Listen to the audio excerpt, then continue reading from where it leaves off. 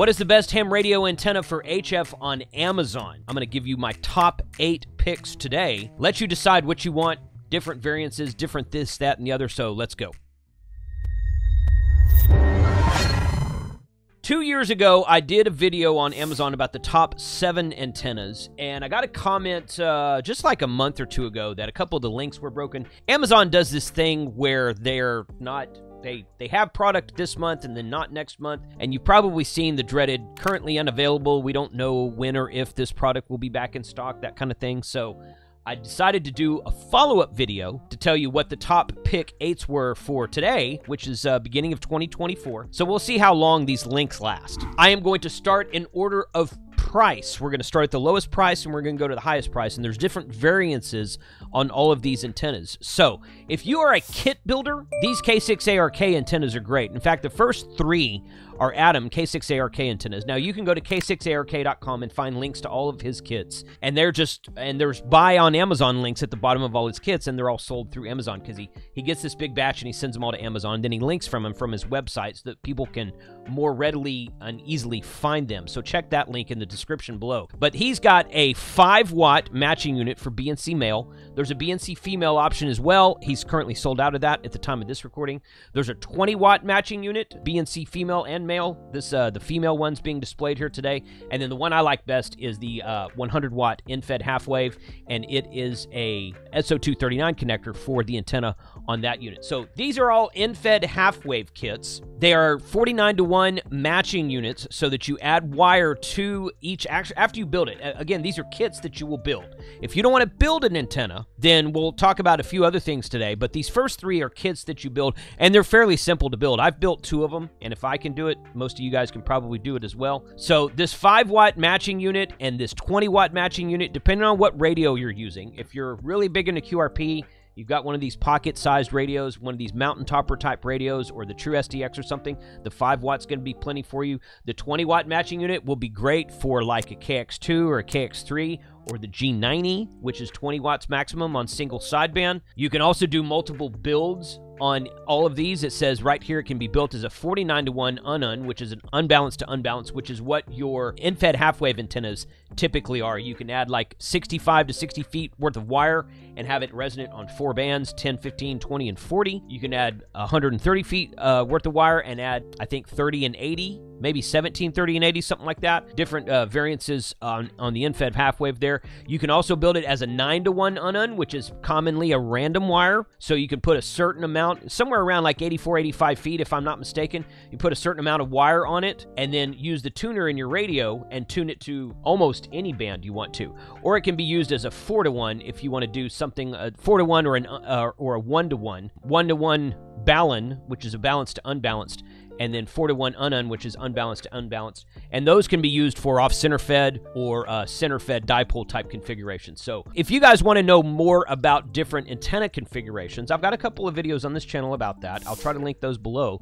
But uh, maybe we'll do a live stream about that and talk about that sometime again in the future. So the difference between these three antennas is that this one's a 5 watt maximum, this one is a 20 watt maximum, and this one is a 100 watt maximum. So these are basically the same three antennas except for power. These first two, the 5 watt and the 20 watt, say that you can do them for the 49 to 1, the 9 to 1, the 4 to 1, or the 1 to 1. This last one, the 10, uh, the the 100 watt, the one that I, I like the best myself, says it'll do 49 to 1 for an end-fed half wave or 9 to 1 for an unun. He doesn't list the other two on here. I'll have to uh, confirm with him on that. I think you could probably do that on this one, but I could be wrong about, about that. Depends on how you wind the toroid when you're building the kit. That's what it's all about. But this one right here, end-fed half wave is a fantastic antenna to take out into the field, to put in a pack, to take somewhere, parks on the air, summits on the air, islands on the air, something like that. If you're going to pack up an antenna and want it to be lightweight and portable, an end-fed half wave is a fantastic option for that. So these first three fit the first three in our eight antennas on Amazon today.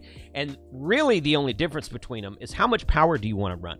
I personally like 100 watts, so the 100 watt version is the one that I usually choose. Number four today is a Radiowavz DX40 off-center fed dipole. Now, Radiowavz is a U.S. company. You will see them at Hamvention and Hamcation. They make uh, antennas for all kinds of stuff. A lot of HF antennas. They make some hex beams. They make some vertical dipoles. They make some off-center fed dipoles and center fed dipoles. This one here will work on 6, 10, 20, and 40 meters. Again, the difference is how this centerpiece uh, often called an unun, unbalanced to unbalanced matching unit, or a balun, a balanced to unbalanced matching unit. It depends on how that is configured inside, how that is built, as to what bands you get, as to how much wire you use, as to how much power you can use, and all that kind of good stuff.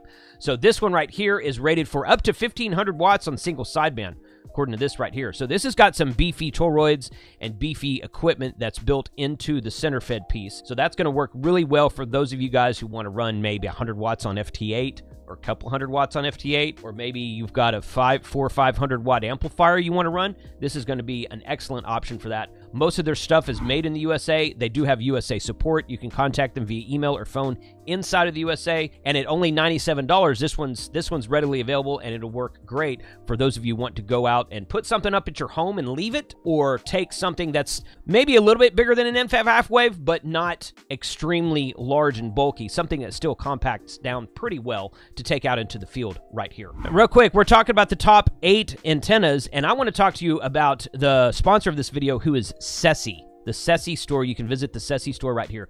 If you guys have watched some of my most recent videos measuring harmonics on different radios with the Tiny SA. Seesii sent me this TinySA. I already had one from R&L, but uh, sent me the Ultra one, which is a larger screen, a couple more features than that. So they are sponsoring this video. Check the links in the description below. If you guys check them out, be sure to put in your order that you heard about them on Ham Radio 2.0. But they have nano VNAs, they have TinySAs, they have these measuring units that you can use to measure and tune your antenna, or measure and cut your antenna so that it is tuned for a more resonant type capability. It's part of the whole antenna building process. So if you're interested in that, check out Seesii in the link below, and thank you for sponsoring this video. The fifth one we're going to talk about today is the Windcamp Gipsy 5 to 50 megahertz horizontal dipole. Horizontal just means you, you, you kind of hang it that way, or you can hang it as an inverted V, perhaps an inverted L, something like that. This is made by a company called Windcamp. You see them often on Amazon. They've got a lot of stuff on Amazon. They've got some accessories for the IC705 and that kind of thing. This one comes in at 100 watts PEP, so it's not as quite as powerful as the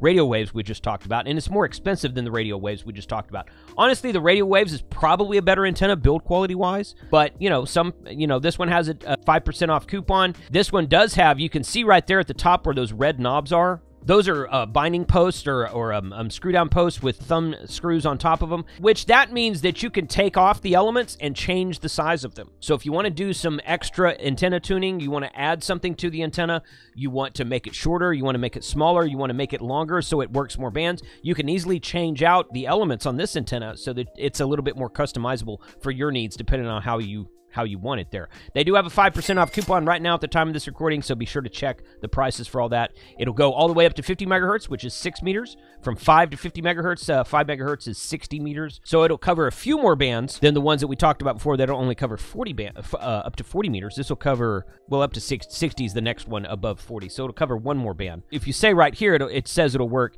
50 megahertz, 28 megahertz, which is 6 meters, 10 meters, 12 15 meters, 17 meters, 20 meters, 30 meters, 40 meters, and 60 meters right there. So it'll it, you can unwind and wind the lengths of wire out to whatever length you want. It tells you exactly right there how much wire to wind out, so you can tune the antenna to different bands and use it in different operation styles like that. Shark Antennas is another company. Most of their stuff's made in the USA. I got some of their ham sticks a while back. Ham sticks are great because they're very versatile. You can set up a ham, ham stick and hang them horizontally. You can put one here and one there and have like a like a rotatable type dipole. You can put a ham stick on a mag mount on your vehicle. I've done several POTA activations with ham sticks on my vehicle that you can go out to a park and sit in your truck and, and activate the parks on the air. So that's totally acceptable thing to do. Parks on the air from your vehicle totally acceptable. And ham sticks are great because they're they're generally monoband. You have a 10 meter, a 15 meter, a 20 meter ham stick. 17 meter ham stick. You can do stuff like that, and you can change bands. You have to get out of the truck and unscrew the one, and they have quick disconnects. You can get in some of them. But Shark Antennas makes all their stuff in the USA. Great company. I've traded some emails with them in the past. Gigaparts carries the uh, carries a full variety of Shark antenna, Shark ham sticks. So in fact, right there. Radio antennas by Gigaparts. So this is Gigaparts' ad on Amazon. So there you go. There you go. Gigaparts is the one selling these. These are great if they because they're really versatile. You can run them vertical, you can run them horizontal, you can put them on your vehicle and be on HF while you're on road trips. So Shark antennas is definitely on the list today. The next one is the Chameleon. Now Chameleon stuff, I've seen Chameleons also made in the USA. They have a factory in California. This is the Emcomm 3 portable. They may have more items on uh, Amazon, but they're kind of like hit or miss what they have probably depending on what they have in stock at the time. So you can click on the Chameleon store here. You can see a lot of other stuff that they have out here. Chameleon antenna here, and then it gets into other stuff down there. It kind of doesn't. It doesn't. It's it says it's their store, but it's not.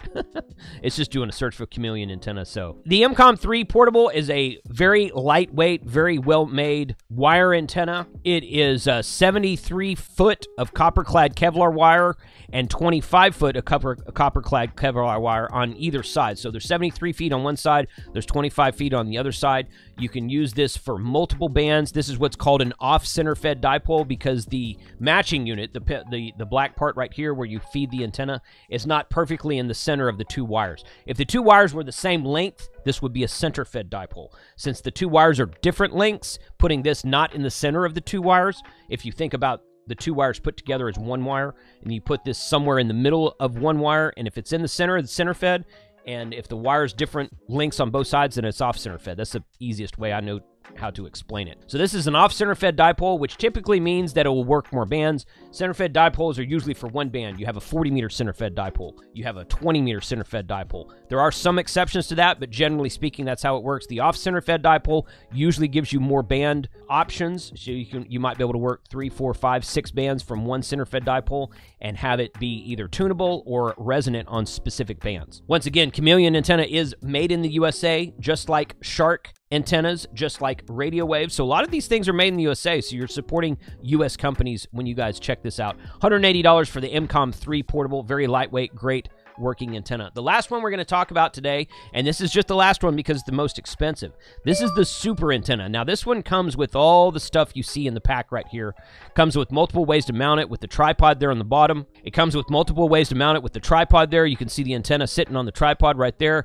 You can see the spike on the left over there, so you can uh, stick it into the ground rather than having the tripod sit on the ground. If it's windy outside, then the tripod might be blowing over. It comes with this neat carrying bag and whatnot. This piece in the middle right here with the black coils is uh, where you tune the antenna. So you can move the, the whip on the top up and down, and you can tune the antenna with the matching coils in here. And this makes the antenna usable on multiple bands. Now, I don't own one of these antennas, but one of our club members brought this antenna to field day a couple of years ago, and we used it at field day. And for as small and compact and lightweight as it is, I thought it worked pretty well. Yeah, I got to use it myself for a couple hours one afternoon on field day. I think we were on 40 meters with it, if I remember correctly.